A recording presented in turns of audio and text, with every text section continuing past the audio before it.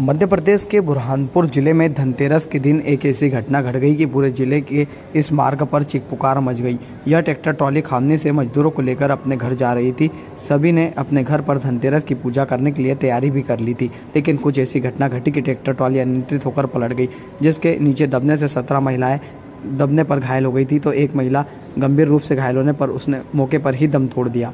Local eighteen की team ने जिला अस्पताल में घायल सारिका से बात की तो उन्होंने बताया कि हम सुबह खामने में खेत में मजदूरी करने के लिए गए थे। शाम के समय में ट्रैक्टर ट्रॉली में सवार होकर अपने घर आ रहे थे। रायगांव और फुपनार के पास यह घटना हुई। एक मोटरसाइकिल चालक को बचाने के चक्कर में हमारा ट्रैक्टर ट्रॉली अनियंत्रित होकर पलट गया, जिसमें सभी महिलाएँ बैठी थी, जो दबने पर घायल हो गई है। एक बुज़ुर्ग महिला की मौत हो गई है।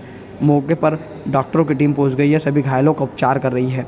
लोकल एटीन की टीम ने नायब तहसीलदार गोविंद सिंह राजपूत से बात की तो उन्होंने बताया कि यह घटना की सूचना लगने के बाद हम भी मौके पर पहुँचे और सभी को अस्पताल पहुँचाया और डॉक्टरों की टीम भी आ गई है सभी का उपचार किया जा रहा है। बताओ सारी सारी का नाम है?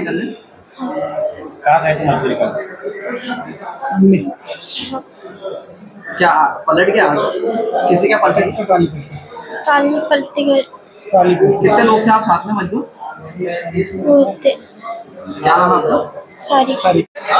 रायगांव और भुपनार के बीच में भुपनार रोड पर एक ट्रैक्टर ट्राली जो खामनी से मजदूरों को लेकर शाम के वक्त भुपनार के मजदूर से छोड़ने जा रही थी।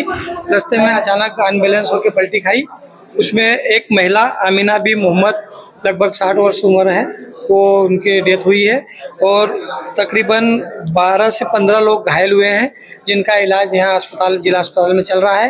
वो घायलों में से चार लोग ज़्यादा सीरियस है उनको प्राइवेट अस्पताल में रेफर किया है। अभी क्या इस अस्पताल में क्या स्थिति है? यहाँ पर टीमें आ गई है क्या उपचार हाँ दिया जा अस्पताल रहा में है? उपचार दिया जा रहा है तत्कालिक उपचार दिया जा रहा है और जो लोग ज़्यादा सीरियस है उनको दूसरे अस्पतालों में प्राइवेटों में रेफर किया ये सारे कोपनार के मजदूर वर्ग हैं। गए काम करने ये खामनी बता रहे हैं काम करने गए थे और शाम खामनी और सॉरी भोपनार और रायपुर, रायगांव के बीच में, रोड गोविंद सिंह रावत, नायब तहसीलदार कोपनार